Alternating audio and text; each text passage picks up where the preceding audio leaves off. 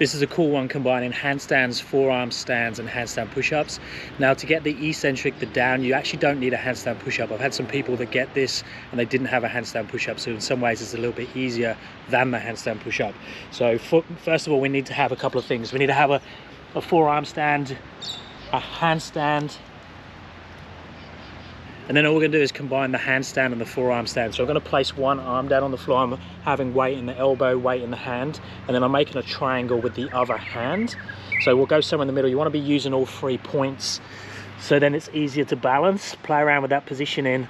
Once you've got that, you can make it cleaner by having the legs together. And then this is the down movement that I don't think is actually too hard once you've got a little bit control in both the handstand and in the forearm stand. So as I rotate down and bring the elbow towards the floor, keep weight in the hands and obviously take weight into the elbow and the hand at the bottom to make that triangle nice and strong again. Now you could do those positions, the handstand, the forearm stand and the eccentric with light toe assist on the wall. And then if you want to do the full movement, so the down and the back up, you obviously do need a handstand push-up. So same thing, come down, control at the bottom, come back to the bottom of the handstand push-up and then back up as one.